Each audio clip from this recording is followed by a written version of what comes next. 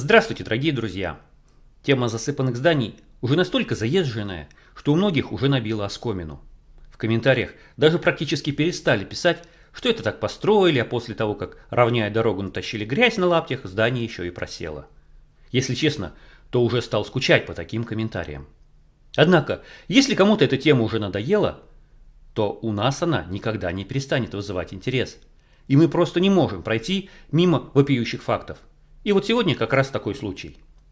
Во время экспедиции 2020 года мы объехали много красивых зданий. И вот сегодня хотим показать вам одно из них. Несмотря на нехватку времени в экспедиции, мы специально потратили несколько часов, чтобы все внимательно здесь осмотреть и измерить. А насколько это достойно внимания, судите сами. Начнем, как всегда, с краткой официальной исторической справки. В 17-19 веках в селе Стружаны изготавливались деревянные суда. Струги, откуда, очевидно, и произошло его название. Во времена Петра I в селе располагались государевы верфи по производству стругов для флота.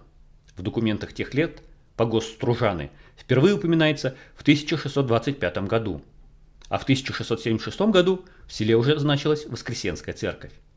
К началу 20 века основное население составляли священнослужители местной Воскресенской церкви со своими семьями.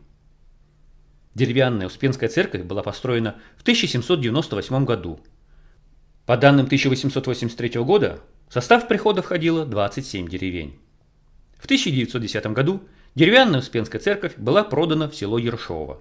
Вместо нее был построен в русско-византийском архитектурном стиле, в формах эклектики, обширный, четырехстолбный однокупольный храм с трехъярусной колокольней, освященный в том же 1910 году. Новая каменная церковь Успения Пресвятой Богородицы была с тремя пределами. Главный в честь Успения Божьей Матери, правый в честь Проскевы, левый в честь Иоанна Предтечи. Время закрытия церкви не установлено. В 1945 году храм был возвращен верующим – решением Рязанского облсовета номер 250, протокол 10 от 3 апреля 1945 года.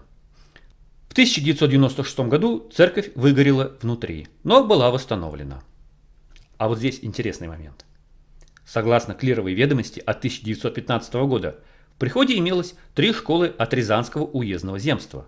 В селе Стружаны, в которой обучалось 65 мальчиков и 17 девочек – в деревне Алтуховой, в которой обучалось 60 мальчиков и 17 девочек. В деревне Пансуровой обучалось 30 мальчиков и 7 девочек. Также числится Маншинская школа от Егорьевского уездного земства, в которой обучалось 80 мальчиков и 20 девочек. В Стружанской церковно-приходской школе обучалось 33 мальчика и 12 девочек. Вторая церковно-приходская школа располагалась в деревне Давыдовской, и в ней обучалось 21 мальчик и 7 девочек. Конец краткой официальной исторической справки. Возможно, в том, что в 1915 году мальчиков обучалось в 4 раза больше, чем девочек, ничего необычного и нет. Ну, кто-то скажет, что девочек просто не отдавали в школу, ибо будущим крестьянским домохозяйкам грамота была не нужна. Ну, возможно, что и так. А возможно, что мальчиков на самом деле было гораздо больше. Еще смущает такой момент, что продав деревянную церковь, которая уже простояла сто с лишним лет и не сгнила, в течение того же года построили и осветили красивейший кирпичный храм. Как быстро, однако. Имеется немало примеров, как более простые по архитектуре церкви, например, в той же Москве, строились годами. Осматривая церковное кладбище, нам попался вот такой вот памятник местному священнику. И что интересно, на нем нет христианской символики. Официально ныне существующий храм построен в 1910 году. Хорошо, Пусть так. Но давайте просто полюбуемся им, так как нашему взору открывается очень красивое здание.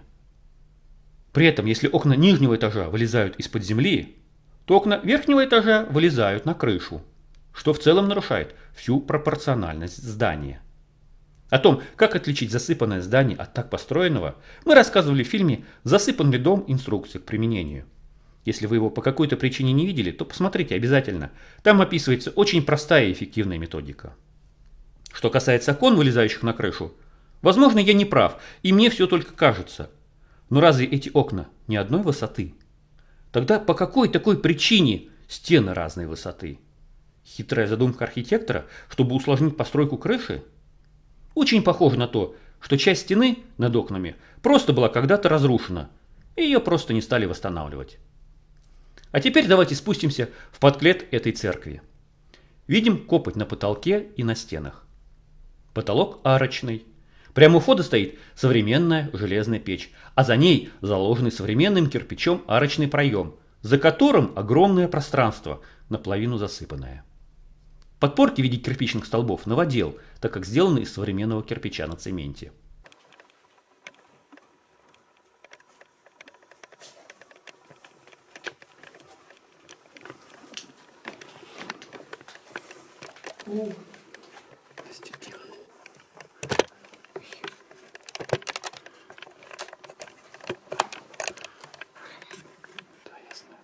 Отойди чуть в сторону, я сейчас туда снимать буду.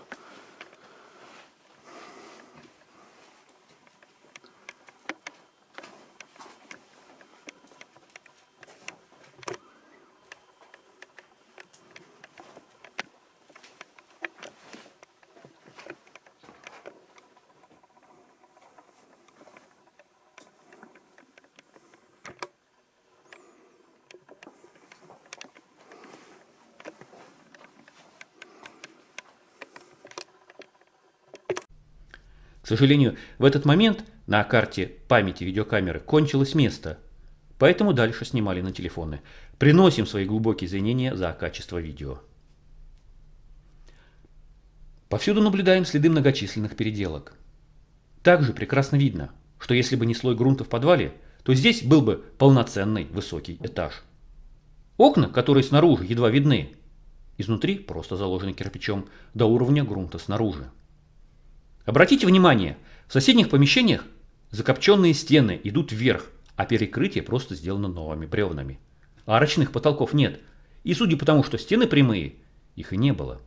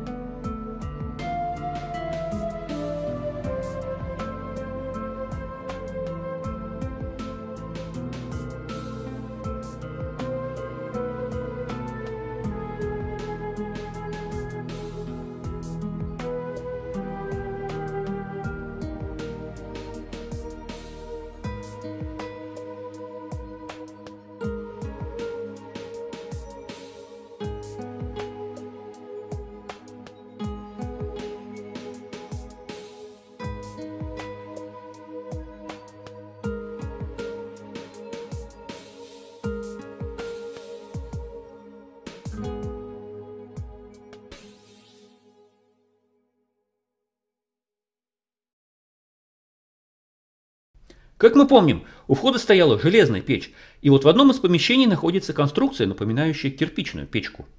Давайте залезем внутрь этой конструкции и посмотрим, как там. Ну а тут, как говорится, без комментариев. Единственное, на что хочу обратить внимание, это квадратные гайки внутри печи и некоторые места обмазаны глиной. Возможно, пытались восстановить.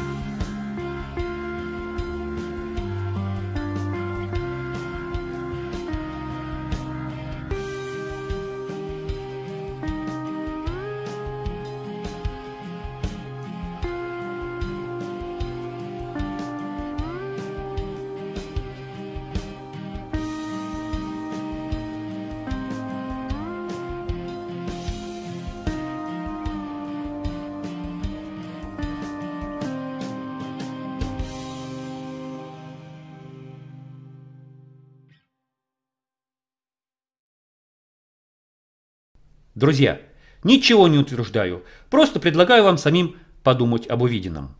Обзор экспедиции 2020 года еще не закончен. В одном из следующих фильмов будет рассказ про круглые озера. На этом я с вами не прощаюсь. Благодарю вас за внимание. Всего вам доброго.